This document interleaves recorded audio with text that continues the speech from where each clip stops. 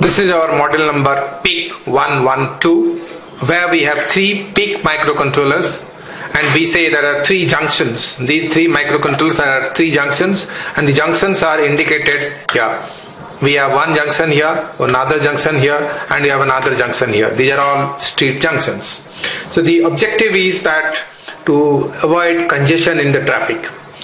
How we achieve that is that the information from this controller is conveyed from this junction to the, this junction and to this junction so that the vehicle gets least time waiting in the red signal. Like for example, when this becomes green, the vehicle starts moving and we notice that the other side is already red and but by the time it the vehicle moves here and then try to reach the distance of course is known to us and the process when it reaches here this becomes green and the vehicle starts moving.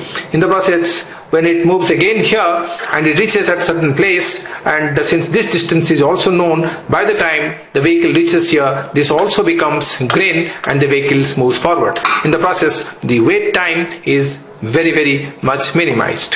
Thank you.